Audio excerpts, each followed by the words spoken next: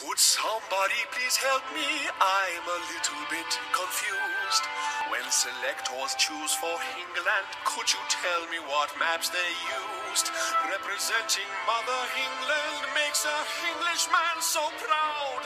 So could somebody please tell me where these cities might be found? Where is Cape Town? That's in England. Where is Harare?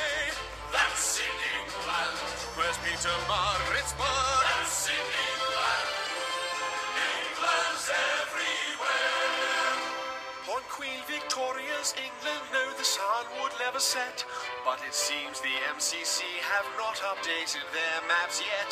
They don't know that South Africa was ceded to the Boer, or that Ireland and New Zealand are not English anymore. Where is Christchurch?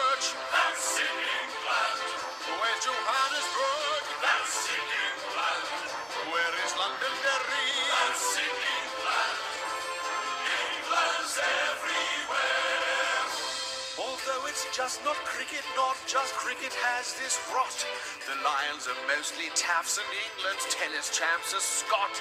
From bodyline to Broadmoor, bending rules is nothing new. For many years they've rolled out Englishmen whose blood was not quite blue. Where is Kingston?